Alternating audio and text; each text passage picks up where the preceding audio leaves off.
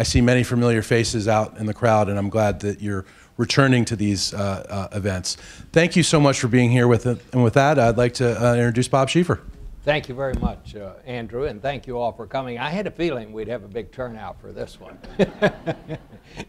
we uh, try to stay on the news, and we're very much on the news today. Uh, Bart Gellman, who's had his name in the paper a lot lately, of the Washington Post, he's a winner of two Pulitzers. He wrote book, uh, Angler, about uh, Vice President uh, Cheney, that was booked as a New York Times. It was a bestseller. It was also chosen one of the Times uh, Books of the Year. Uh, works for the Washington Post, Time Magazine, and of course he is the one at the Washington Post who had the their first story about Edward Snowden. Right over here, my old friend uh, David Sanger. He's been on two Pulitzer teams at the Post. You worked at, I mean, at the Times. You worked there 30 years, right? Mm -hmm. So he's probably worked at one place longer than anybody on this panel but me, which is which is really good. And uh, he has uh, two books about the Obama administration. Uh, the most recent, of course, is uh, Confront and Conceal. You had some uh, information in that book that uh, had not been known before your book came out. So you, uh, you have some experience on that kind of thing. And then uh, Jim Lewis, uh, who is, of course, a senior fellow here at uh, CSIS, the acknowledged expert, I think, on cyber war and uh, cyber security. He's been in and out of government most of his career, has a PhD from the University of uh, Chicago, right? So very long resumes for all these gentlemen, but we'll just stop it there. Bart, I want to just ask you uh, to start off the threshold question. Why did the Washington Post think it should publish this story? Well, I'll, I'll speak for myself, uh, and I, I, think that it does represent the Post's view on this. Uh, why wouldn't we? The, we had a situation in which the, uh, the Congress passed a law, which everybody gets to read, that says very, very little. The, the terms are quite opaque. Then the executive makes a secret, highly classified interpretation of what that law says. Then it creates a program. Then it goes to a court and gets this court, the Foreign Intelligence Surveillance Court, which works only in uh, highly classified ways and with no other party present. And the court makes a secret ruling uh, and all this is drawing a boundary around uh, where should the limit be between intelligence gathering uh, and privacy and civil liberties. And that's a conversation uh, that we have not had an opportunity to debate in this country among the general public. And uh, you know, on sort of foundational questions like that of power, because you're talking about the mutual transparency of citizens and the government that's supposed to serve them. Uh, I, I, think there were lots of things in this material that needed to be broached, and, the, and I think the, the sort of confirmation of that comes from the fact that there has been an extended, you know, running into several weeks now, and fairly serious public debate about where these lines should be. Did you have any concerns uh, that national security uh, might be damaged with what you published? Yeah, I did. I mean, over my career in journalism, having covered a lot of national security stories, there have been quite a few times when I saw a really hard balance to be struck and when I've had conversations with the government about their concerns. And we had those conversations this time, and I'll tell you how I started the first conversation. I said, I'm not going to hand you this document that I have, but here's the date and title and author, and I know you can find it. Uh, and before we start talking, I just want you to know that everything from slides 21 to 27, we're not even thinking about publishing. Uh, let's talk about the rest. And, and this, is, is this is the way you presented it to the Post? Uh, kind of in that way, or? Well, yeah. I mean, when I, when I, uh, when I came to the Post, uh, I had a similar conversation. I said, you know, I mean, you're going to make your own decisions because I no longer work there full time. I did for 21 years. I came back to them on contract for this story said you'll make your own decisions about what you're willing to publish. Uh, and you know, start of the conversation, this is the part I would not myself be willing to publish. David, how is uh, what Bart did with his story, uh, is it dimmer, different in any way from when you did your book? uh, because you talked about, and we learned for the first time about some of the uh, cyber war uh, abilities that the United States has, and this had heretofore not been known. Did you go through this same kind of a process? through a very similar process. I think there were a couple of differences, but mostly a, a similar thing. And, and uh, I commend Bart both for his enterprise and for exactly the way uh, uh, he handled it, which I think was, was extremely responsible. Um, the difference was that in the story that uh, we published in the Times and that I was an excerpt from Confront and Conceal, which was about Olympic Games, the, um, which was the code name for uh, offensive cyber operation against Iran, but also the first sophisticated use of an offensive cyber weapon. The overall journalistic impetus, I think, was very similar to what you just heard from Bart about this. That in both the case of where the US government draws the line between personal privacy and uh, doing the kind of surveillance it feels it needs for defense, and where the government draws a line on the use of offensive weapons, it's all done in secret, and in many cases, you have to ask the question how much of this needs to be secret because it's keeping operational details secret, and for which I think we all understand the need to go do that, and how much of this are fundamental issues that need to get debated by the US public and perhaps by a broader public, but certainly by American citizens because it's done in their name. And I think the responsible way to do it is exactly as Bart handled, which was go to the government and say, this is what I have. That the key elements are going to get published.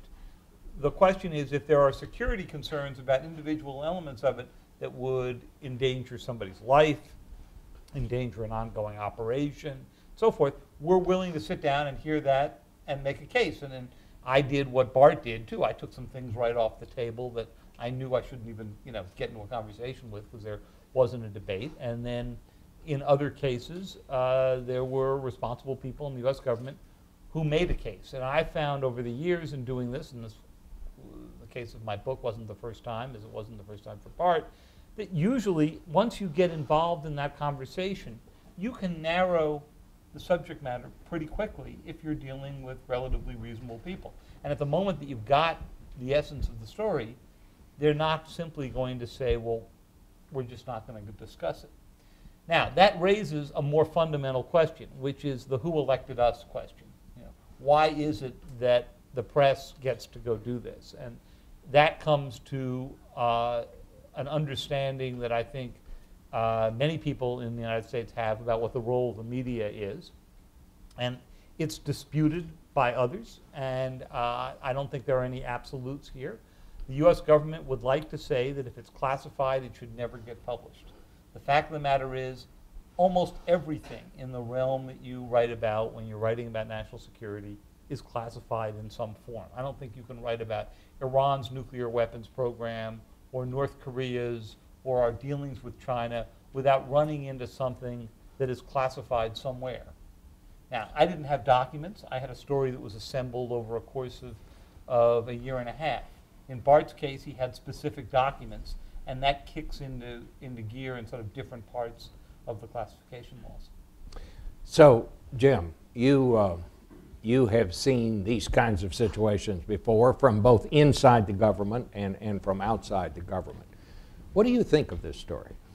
It's true. I think I'm the only one on the panel who's been uh, inside the veil, so to speak. And actually, one of the things I'm wondering, I just went through my five-year review. I was thinking, why did I bother? I can just wait and it'll be in the poster of the Times or something. I mean, it's like, you know. Um, and there's no doubt that uh, people in the community are a little depressed, right? So I, I feel a lot of empathy for them. Um, but we will rebuild. Uh, in this case, uh, I kind of agree. I think more transparency would be a good thing. If they had given some more information on the program to begin with, it would have been easier to manage the public reaction. But at the same time, I'm all for more transparency. I think the program needs to continue. So I hope the debate doesn't lead us into one of these silly compromises where we set up a new advisory board or somehow put in additional constraints. I think that would be a mistake. Let me uh, just ask you uh, at the top here uh, some of the claims that, that Snowden has made that he could listen in on any phone call, even the president's if he had the number. Uh, uh, I have had people both uh, on on the record on television and off the record saying he vastly overstated his abilities. Do you think he did? I love those television shows and movies where they show like a, an op center in the CIA and the guy says, Got me a video on St. Peter's Square. And immediately it pops up. Ah, ah, come on, folks. You know, of course you can. Technically, it is possible to target someone and to get their phone calls, but there are many, many legal constraints. You really have to have worked with these legal constraints to know how difficult it is. And it's not that easy. There's operational difficulties, there's legal issues. It's not like the movies. Well, do you think he overstated what his abilities were? I think he was uh, overselling. I think he, you know, had a product, and it looked for a while, at least in Hong Kong, like he was uh, dangling. You know, come to me, bring money, and I'll tell you the good stuff. So I think he was overselling. Bart? I'm not his lawyer or his advocate, and I'm, I'm, I'm printing only what I, I, I think is true and uh, that I can verify. Uh, I, I wouldn't be so sure that he's wrong about this. Uh, and what he's right about for sure is that the legal constraints that Jim is talking about um, are either lines of code or policies and rules and regulations and supervisory chains and auditing trails, which, given that the whole thing is taking place in secret, can be changed at any time. His, his principal point is that there has been built up, without our knowledge, a remarkably powerful surveillance apparatus that is, in fact, touching every American household, even though they are not listening in on all our calls, all, there are some, or reading all our emails, and that the, that the main constraints on it right now uh, are what the code says, uh, which can be changed, or what the policies are, which can be changed. And what we do know is that when governments accumulate power over time, it, they find, you know, sort of one more reason why you might want to use this, or you're going to adjust it, you know, on the spectrum just a little bit, and over time you tend to have a one-way valve in which there's more use made of powerful tools for, for reasons that are stated in good faith uh, and, and honestly believed, uh, but that, that change the boundaries. Well, how can it be that someone can go to work in a situation like this, in a position like this, work there only three months, and somehow get away with what he apparently, we know he got away with some stuff because you printed some of it. Eh, I mean, eh, that does not seem right to me. It seems to me that's, that's not a good situation. Jim, how- can that be? How can that be? Gee, I really want to defend the guys up at the fort here, but it sounds like there was a little glitch. Uh, um, you know, one of the rules, to, just to move a little bit aside, if you're looking at simple things you could do to make your networks more secure, one of them is to restrict administrator privileges, because an administrator can pretty much do whatever they want. He was an administrator, and that was probably the mistake. Is this basically, he's the IT guy in the office like we have at CBS, that when the computers break down, that's the guy that comes in, he knows everybody's password. Be nice to your IT guy. Yeah, exactly. Yeah, that's right. Yeah. I've One learned of the lessons here. But I mean, is that basically what his job was? uh, Uh, someone I know said they described him as the help desk. The help desk? Yeah. Yep. That, yeah, look, I mean, look, there's, there's been a lot of stuff that, that is out there that's uh, essentially uh, trivializing um, him or his credentials or, his, or the importance of his job. Uh, he, he worked at uh, the Hawaii uh, sort of large sub-branch of the uh, you know, Threat Operations Center uh, run by the NSA. He was the administrator of a very substantial uh, portion of that system and also in charge of defending it. So, I mean, he, he was there to watch out for incoming cyber attacks, intrusions on the system, and he also administered a lot of the, the sort of, you know, sort of rules, regulations, and firewalls that prevented sort of inside people and out from getting places where they weren't supposed to. Of course, that gives you a lot of power to get in those places yourself. Is there any suggestion, and I know this is your source, and, and, and, but is there any suggestion that he took this job for the sole reason he wanted, he had his mind made up about something that uh, needed to be exposed, and he went in there and got this job so he could do that? Well, he had spent a lot more years than, than, than these, uh, or than this last one, working uh, in the intelligence community, and he had clearly formed views that developed over time. He never told me that he took this job in order to carry out his plan, but it's looking more and more like that based on the external evidence. What, uh, what do we make of the fact that, you know, once he does this, then he goes to Hong Kong, now he's in Russia and all of that? I mean, this is not your standard whistleblower, is it, uh, David? Well, there are a lot of people who would argue he's not a whistleblower uh, at all. And, you know, whether or not you think he's a whistleblower probably determines how you come down on the first question you asked about uh, uh, uh, why the press publishes this, what kind of person he is, and so forth. Um, I think this has come into an, an, interesting context at a moment when there is a new president uh, in China and uh, the return of a previous president in Russia, uh, both of whom had just met President Obama in separate uh, summit meetings within the past week and a half. And uh, both of whom uh, showed a particular willingness to stand up and say, this is not my problem, and perhaps enjoy, in the case of the Russians, how much angst this was causing uh, the United States. In the case of the Chinese, I think they just wanted to get this problem off their plate. Uh, the prospect of a year or two years or however long the extradition process took, I thought they, I think they believed, I know from some Chinese officials who expressed this to me, would be a fairly uh, uh, lengthy process that would erode the relationship at a time that Xi Jinping's got other problems with the United States and uh, that he wants to go deal with. And I think they decided that they would take a day or two of heat for letting him out of Hong Kong and that then it would become someone else's problem. And that someone else turned out to be Vladimir Putin. Well, do you, uh, Jim, uh, do you think it might have been that they had already gotten everything they needed from him? I mean, is it possible? We read all these stories. We don't know if I don't. I don't have the expertise to know. Is it possible they could have drained those four computers he had uh, without him even knowing it? I, I, do he think he's there? overstating his position. I do know a little bit about the NTOC, the and you know, he was not like at the center of it. So did he have access to some good data? Yes. Did this stuff come as a surprise to the Chinese or the Russians? No. And so I think one of the problems he had is when he got there, he found that the stuff he was flogging, while it's attracted a lot of public interest, was not really, and started a good debate, was not really a surprise to foreign intelligence services. So, so I, I, I want to add yeah, that. Yeah. He has said and given me good reason to believe uh, that he's in possession of material that could do extraordinary damage to collections in, by, by disclosing things that, uh, that uh, foreign targets don't know, in, they may know in principle, but they don't know in practice. and he's not interested in, uh, in tossing all that out into the public record. He's interested in, in fostering the debate here. There's been a lot of speculation about whether the Chinese drained his laptops or whether the Russians are doing so now. Uh, I wouldn't give a lot of odds on that, but if you gave me even money, I would, I would make a fairly substantial bet against. Uh, I, I, I know more about the precautions he took and the planning he did anticipating exactly that issue, and uh, I think it would be difficult to do without thumb screws, and we haven't seen any, any sign of that.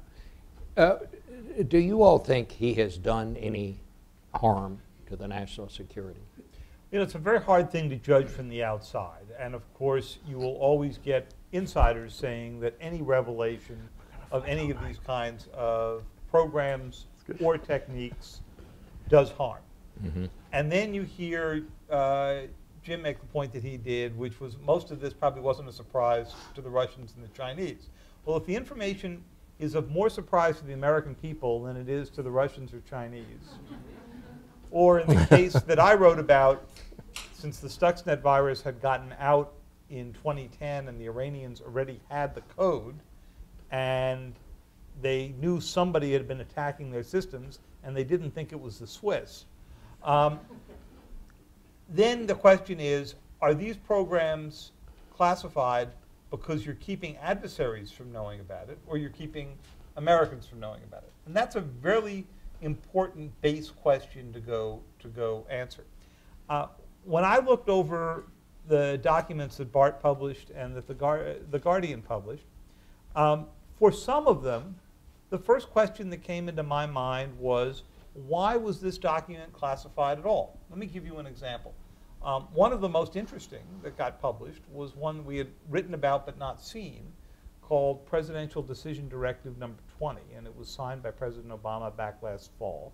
And it was basically the decision directive that lays out the conditions under which the United States would make use of defensive cyber or offensive cyber, and who's supposed to go do that, and so forth and so on. And each paragraph is marked either confidential or secret or top secret, and the entire document was supposed to be declassified in 2037, something like that.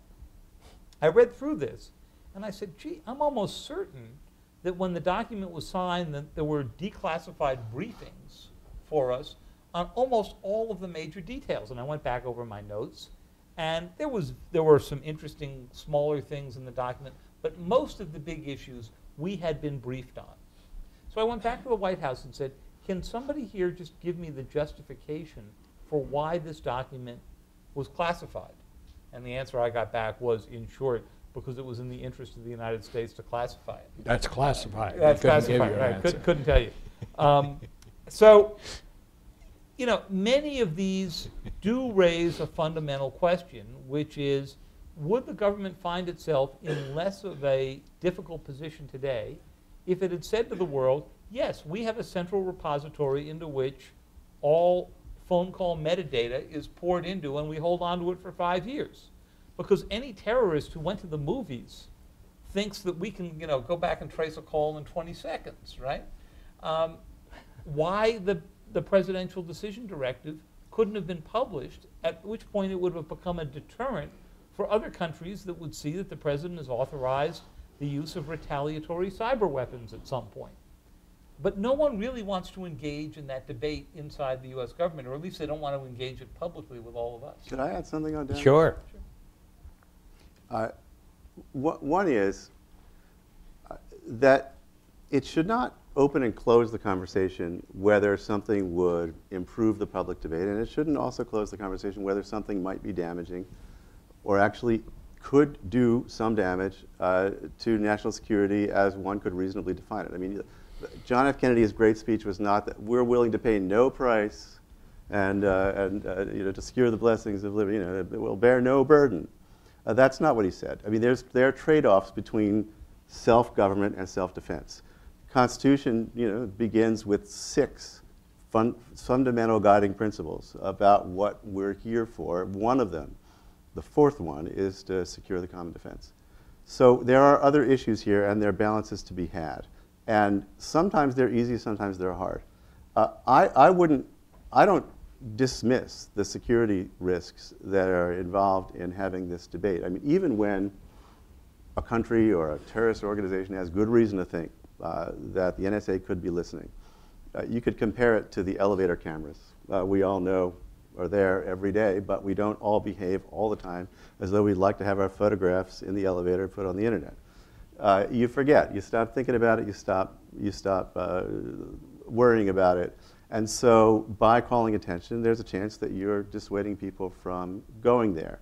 But it's very clear that in the PRISM document, the description of this program, which gets information uh, from uh, nine of the largest Silicon Valley uh, communications providers, that, and it's, it's clear, it's explicit in the document and in the markings, the most highly classified portion of the document was, you know, was the listing of the nine companies, Microsoft, Yahoo, Google, Facebook, and so on. That's the number one secret in there. And uh, when I had conversations with uh, government officials about what we were going to print and what we weren't, I said, if the harm you envision consists of uh, private companies taking a reputational or market loss because the American people don't like what they're doing, that's why we're going to publish it. I mean, that, that, that is a high reason, a, a very high stake that would make you want to publish the information.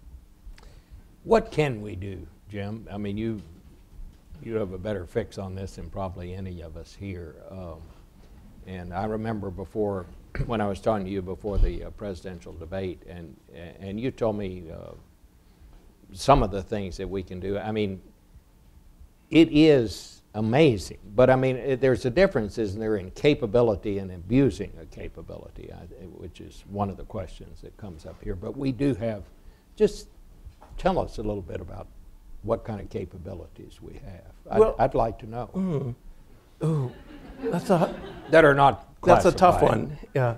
No, um, you know, it's fair to say that uh, after uh, September 11th, uh, there was a lot of effort to uh, integrate intelligence sources, right, and in- expand uh, some collection abilities. And one of the things that was most useful was, you know, you capture some guy's cell phone in Afghanistan, you look in the cell phone, there's some numbers, right? Interesting. One of them's in the US. Who is that person in the US talking to? And at that point, you're kind of stuck. You really need to know this, you really do. But to do it, you're going to have to get essentially what's like your phone bill, right? So that's what they're collecting. And if you don't do that, you may have unhappy surprises. So a lot of it is this ability to collect and combine uh, SIGINT, uh, HUMINT, stuff captured on the battlefield. That's where the edge comes from now. This is not new. If you remember, there was the echelon debate in the 1990s where the Europeans suddenly became excited because they thought there was a global system to collect all traffic. And they did a big investigation of it in the European Commission. And they concluded, well, you know, mm, it's really not so bad uh, as we think. And I think that's where we're going to end up here. There's, there are trade offs. We do need to debate them. More transparency would be useful, but we need this collection capability. May, You- I take, yeah. take issue with my new friend uh, Jim uh, on one or two I, points here? I told him we were going to be fighting all night, so. First of all, there's a there's a legitimate problem here that you've identified. Absolutely, you had you had a uh, an intelligence legal framework in which you could spy on the bad guys overseas, uh, and you could get warrants to, to spy on known bad guys or suspected bad guys domestically. But when you got to the scene, which is what you care a lot about if you're trying to protect, the country, you had inhibitions, you had barriers that were hard to get through. But uh, what, what you've just described is really not what these programs that we're writing about now are doing. If you, if you, if you pick up somebody's pocket litter in Afghanistan and it's got 35 phone numbers and 17 email addresses, uh, uh, th- that, that's where you can go out and get individual uh, FISA warrants by going to a court and saying, this was in so and so's pocket, uh, and, and we want to uh, and we want to get a warrant to look into that. You can do that. That you, you have to show only that the uh, that the information you want is uh, relevant to an authorized national security investigation. That is a very low bar. It'd be easy to meet in that case every time. What they're using these programs for uh, is, is you know, what people conventionally call data mining and what's actually called contact chaining in this context. Uh, they're looking for unknown, uh, unknown suspects, uh, unknown plots by, by, by finding uh, hidden relationships among people. And so if you, you, you start with one contact, one, one uh, suppose it's a terrorist contact, um, you say who's in touch with that person, and then who's in touch with all those people. That's called going out two hops. It's an exponential growth in the number of people that you're surveilling that way. You know, everybody remembers the you know six degrees of separation uh, uh, idea, which is that once you get six degrees of separation from you or me or anyone else in the room, you've you've uh, encompassed the whole planet. So two two hops is pretty far. It's a big number. But this is such an old technique that when they used to train it, and this is declassified so you can find it on the web, um, they used to teach you how to do this using mail, using envelopes. Of course, you want to find the guys who you don't know about, and you have one person you know, and you want to say, what is the network that he is involved in? And you have to look at people who are not known, not suspects, that you couldn't get a warrant on. And I think the administration probably is a little miffed because they probably feel like they went out of their way to do this in a constitutionally safe manner, not public enough.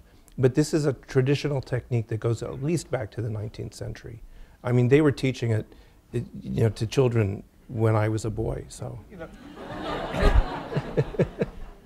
uh, Jim, Jim's a longtime friend, and I, I'm in agreement with him that uh, this me- method has been used a lot.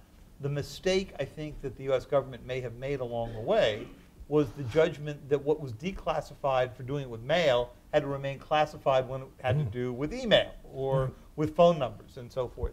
And it does raise the question that got raised, you know, back in the days when um, Jim Risen and Eric Lichtblau uh, wrote their story in what 2005, so about the warrantless wiretapping, where again you ask the question, why couldn't the government have at least described the outlines of this program? Because they leave themselves open to the same kind of exposure and debate then, and the argument about whether or not it really needed to be classified.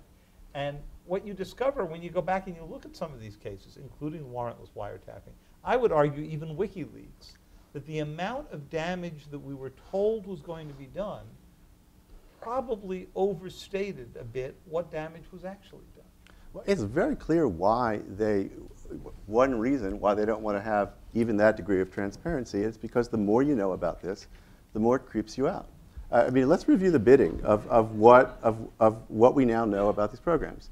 They are, they are collecting all of the metadata uh, uh, involving telephone calls and internet communications, which is chats, emails, uh, you know, video, voice over IP. Yeah, But- but- Bar- Bart, just, uh, just to help me understand this, uh, when you talk about the metadata and you say email, does that mean they're getting the email message or they're just getting? No, What they're not getting. they're not getting the content, and the president has come out and said, "Don't worry, the impact on privacy is modest. Uh, we're not getting. We're not reading your email. We're just looking at, uh, you know, who you sent to, from, sent it to, when. yeah. But a lot more than that. Uh, uh, NSA calls it uh, DNI, digital network information. It includes also unique ide- device identifiers, locations. On the phone stuff, they say they're not collecting location. On the on the internet stuff, they are. Uh, and uh, if you gave me the choice right now, based on current uh, sort of data management techniques, here, here's, here's the choice. Uh, you, I, I will subject myself either to one month of having someone read all my email and listen to all my phone calls, or one month of all my metadata. I would take the, the content in a second. You could listen to me and read all my notes.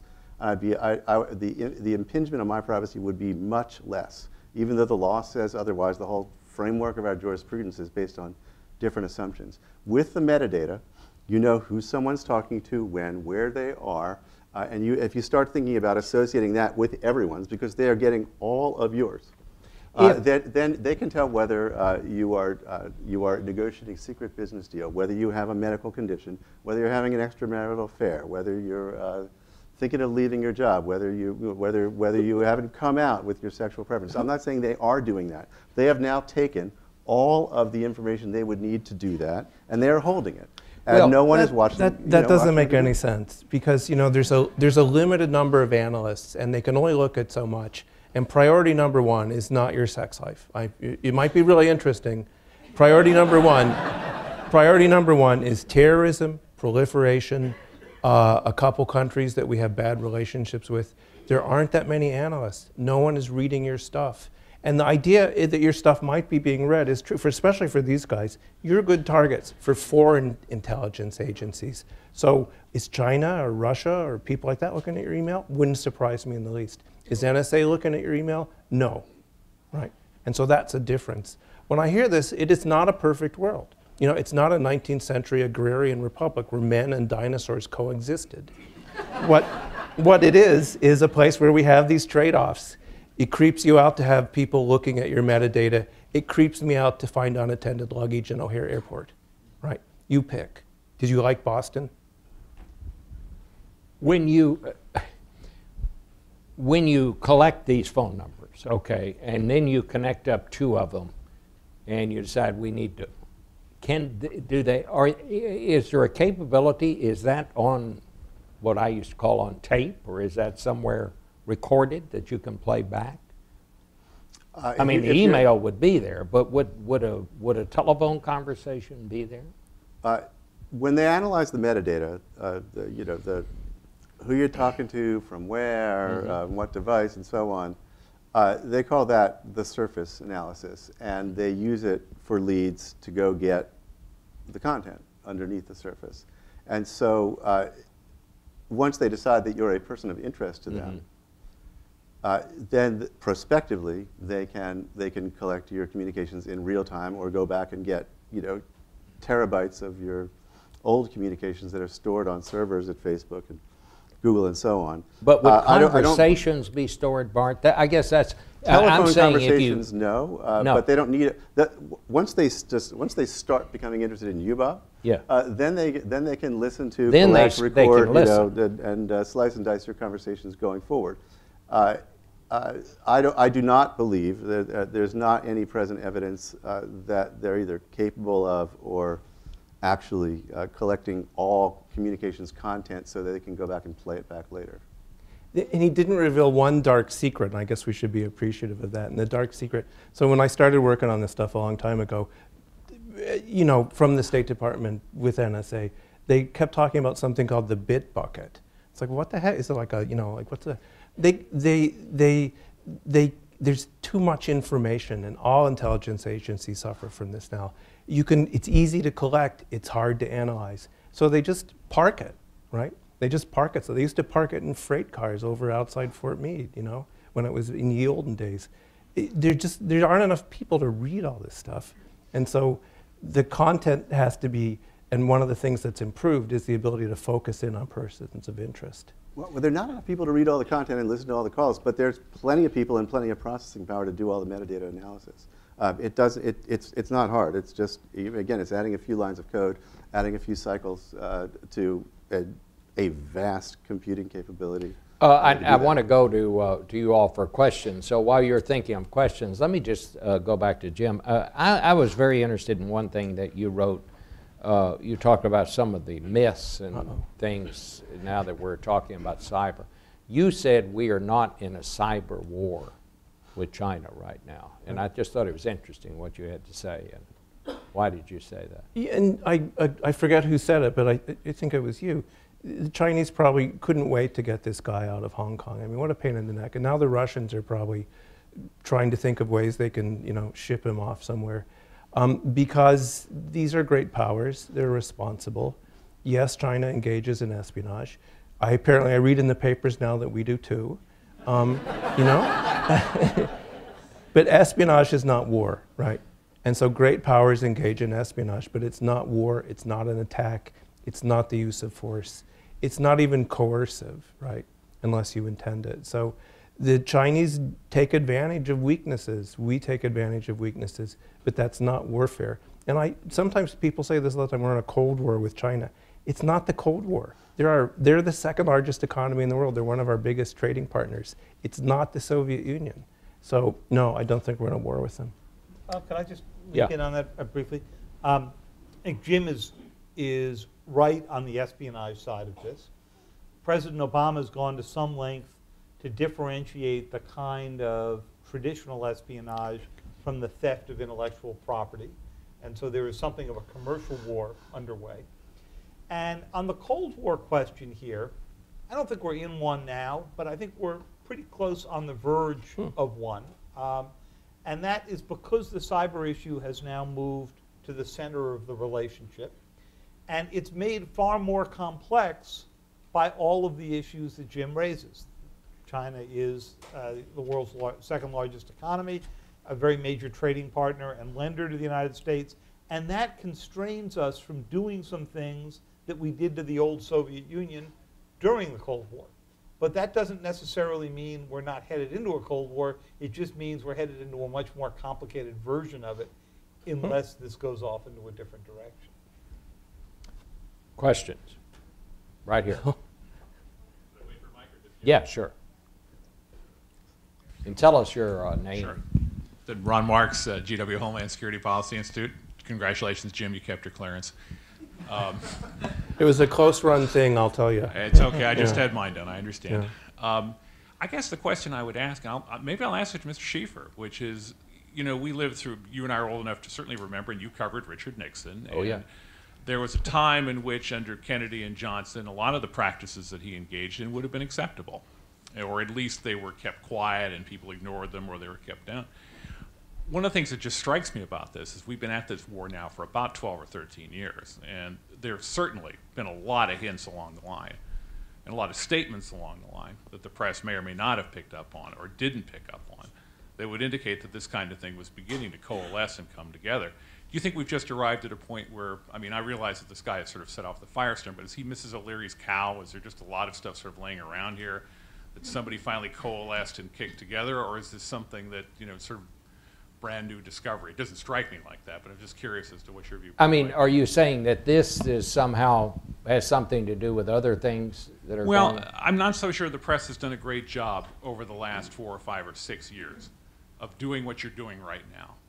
Because one of the jobs of the press, really, at, at least as I grew up in the last 40 years, was the idea that they would be the watchdog. Mm-hmm. And there's been a lot of this stuff out there, and we've seen a lot of reporting, and people have read the Patriot Act, and people have heard all of this stuff around. But for the most part, it's been in bits and rumors and here and there, and we haven't really had the kind of press follow. Do you think the press has failed to some extent in this? Well, the press always fails. I mean, you know. It's intelligence failures. it always, uh, we, every time one of these things happens, we always look back and say, well, uh, the press fell down on the job this time. I, I mean, I think by and large the press has done, uh, done a pretty good job. But I mean, you know, I, I think after 9 11, uh, a lot of people, including me, didn't want to go through 9 11 again. And uh, I, I am not one who thinks that uh, Edward Snowden uh, is a great hero. Uh, you know, sometimes sources are, are good people and sometimes they're other kind of people. And uh, uh, this is uh, Bart's source, but I mean, I, I uh, have real questions. I mean, I said on television a Sunday, a couple of Sundays ago, that uh, you know, I mean, people like Martin Luther King Jr. and Rosa Parks were my heroes, uh, but they kind of stayed around. They didn't run off to China, and I think if if Edward Snowden had a case to make, I don't think he helped his case uh, by his behavior once this came out. I, I actually think, and and Bart knows this, I think the Post acted very responsibly and uh, in the way they vetted this story. I also think that, uh, like Jim, we need to know more about what's going on here. But uh, I don't know. Uh, we could always do a better job than we do. I guess that's what I'd say. Would you? Do you want to say something? I, I do actually. I, I really like the framing of the question about whether there was an intelligence failure by the press, uh, because I, I mean it, it, it's it's a fair question because we're always happy to say there's an intelligence failure if if the U.S. intelligence community you know uh, is somehow unable to predict every future event, uh, and I don't think that's a fair standard to hold them to, even though it's their job to do their best. Uh, so did, did we fail to understand and present as these things were happening uh, that they were happening? Sure we did. Uh, but I'll tell you for sure, in, in my case at least, it was not for lack of trying. I mean, my, my, uh, my last book on Cheney devoted, I don't know, I guess, you know, two and a half chapters uh, to uh, the uh, Bush era surveillance programs, and I turned up a lot. But what I broke my sword on was exactly what was the NSA doing, uh, and especially what was it doing uh, that the Justice Department thought was such a big problem that there was very nearly a mass resignation in March of 2004. And there was a really interesting story to tell if you treat that question as an impenetrable black box.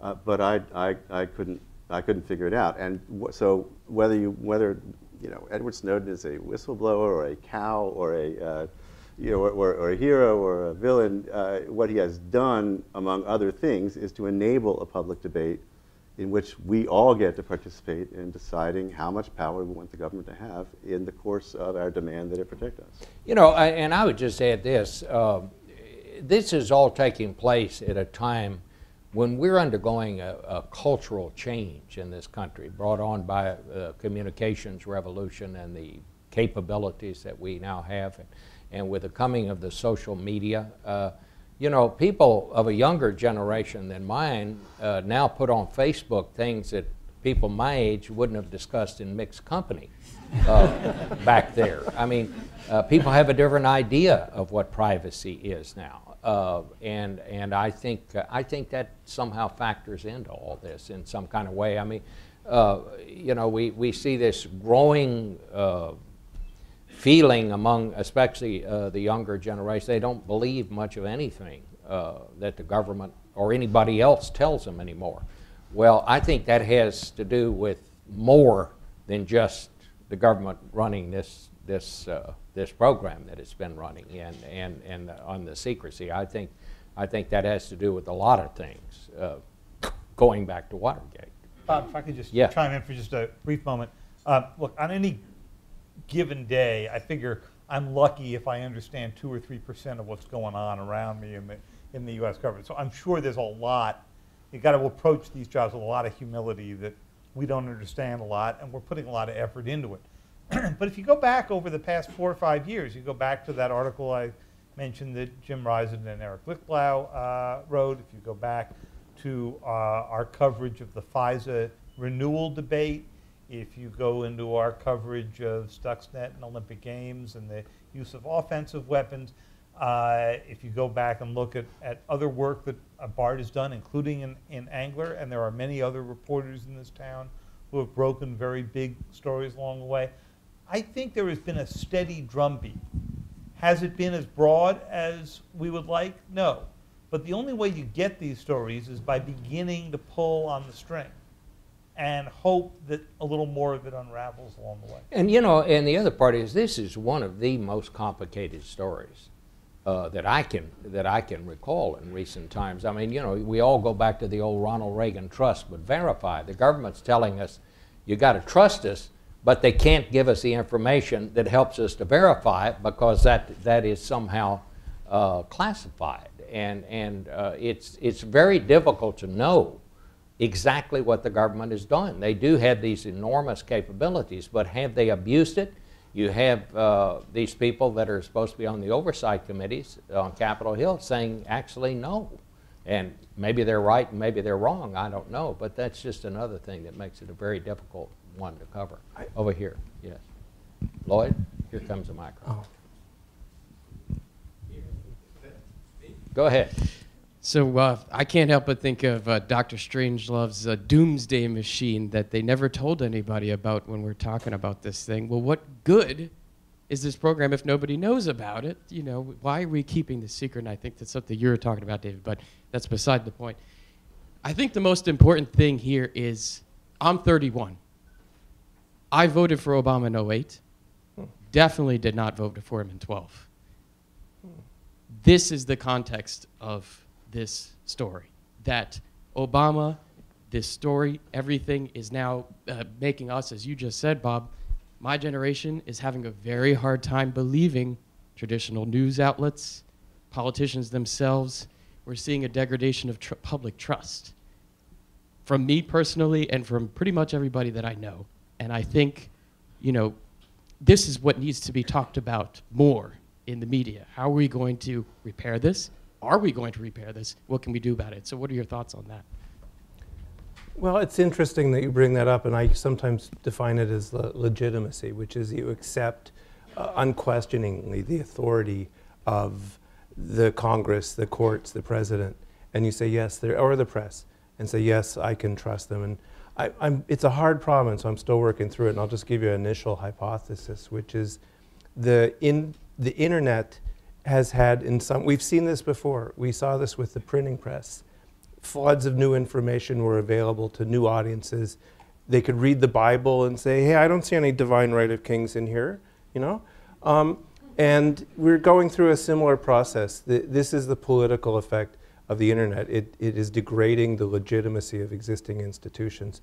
There might be other explanations. Governments overpromise. I don't know. So work in progress, but this could take a long time to work through.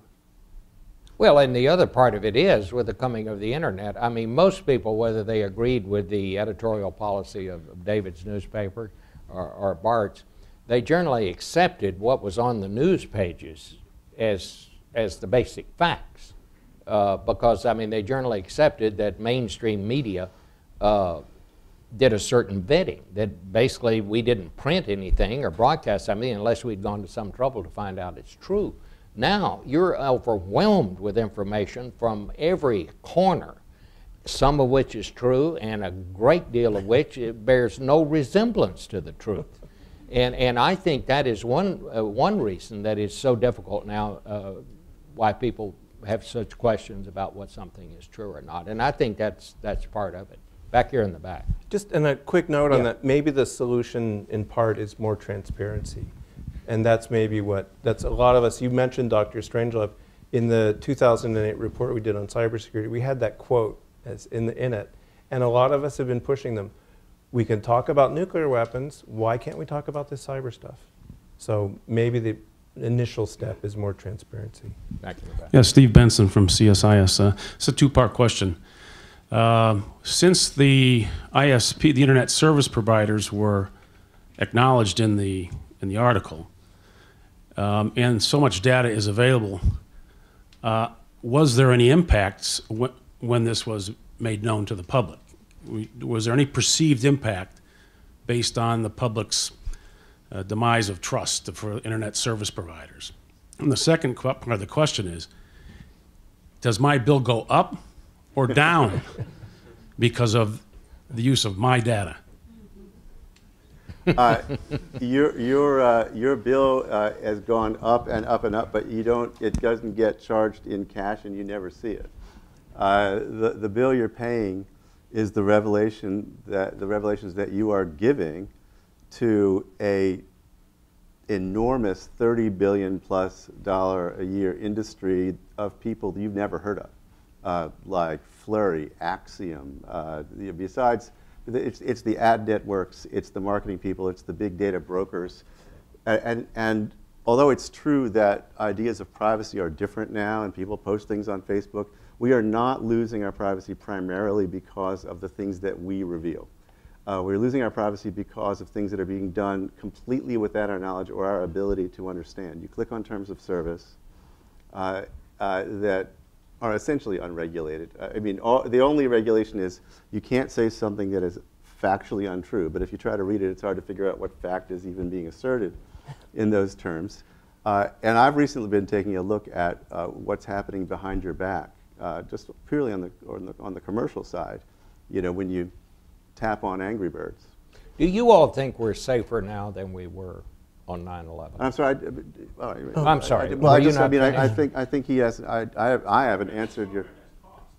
Hmm?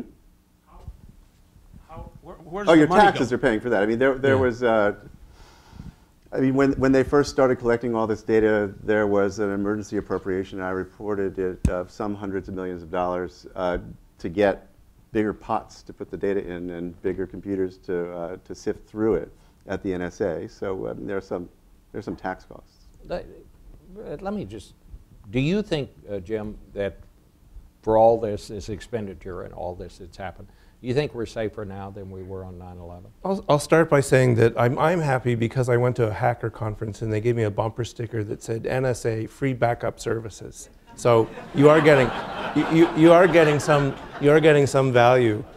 Um, no, if you, if you compare uh, how um, it was a bitter lesson, but if you compare how things worked in the 90s, and people were well intentioned and were trying hard, uh, and how they work now, we're better off.